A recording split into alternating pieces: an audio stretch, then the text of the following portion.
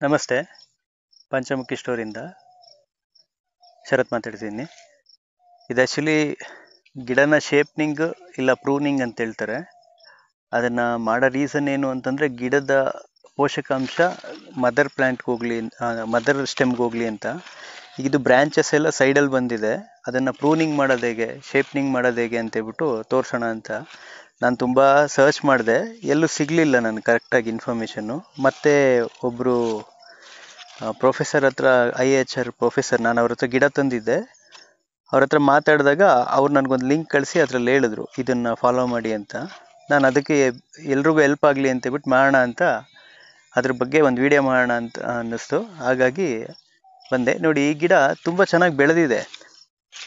ಈ ಗಿಡ ಈಗ ಅನ್ನೆಸೆಸರಿಯಾಗಿ ಕೆಳಗಿಂದ ಬಂದಿರೋದು ಅದು ಅನ್ನೆಸೆಸರಿ ಈ ಸ್ಟೆಮ್ಗಳೆಲ್ಲ ಏನಿದೆ?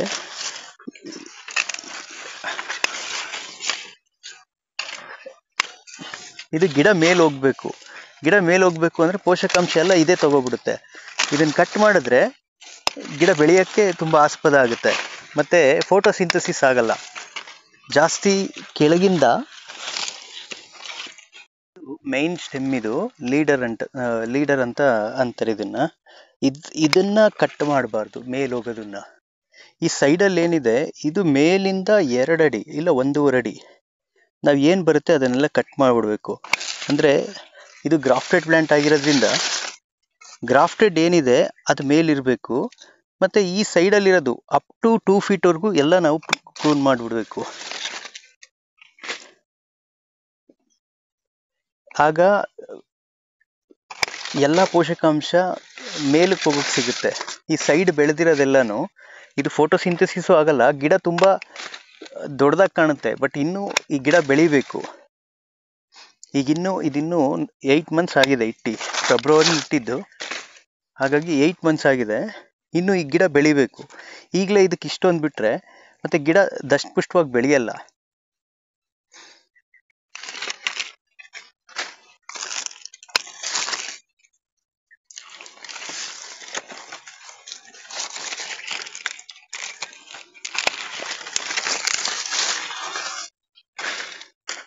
ಇದು ಕ್ಲೀನಾಗಿ ಫೋಟೋಸಿಂಥಸಿಸ್ ಆಗುತ್ತೆ.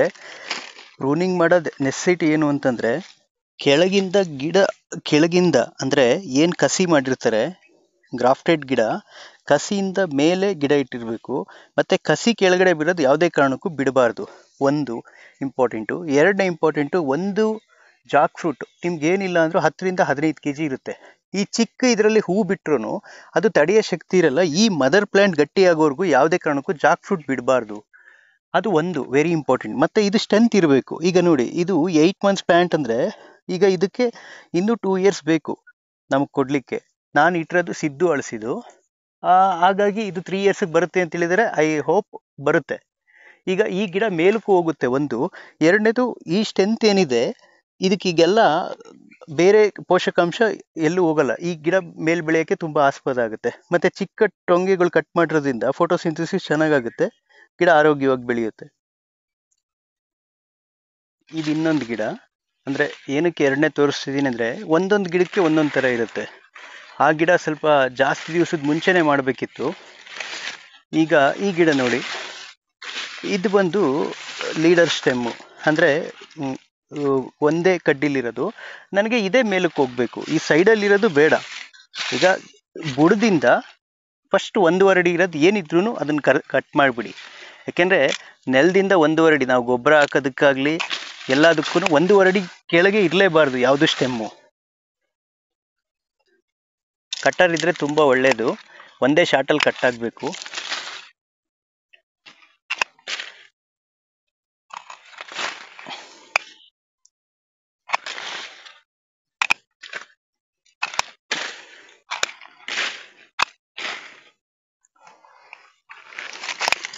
ಗಿಡ ಶೇಪ್ನಿಂಗ್ ಅಂತಲೂ ಅಂತಾರೆ. ಪ್ರೂನಿಂಗ್ ಅಂತ ಏನು ಹೇಳ್ತಾರೆ?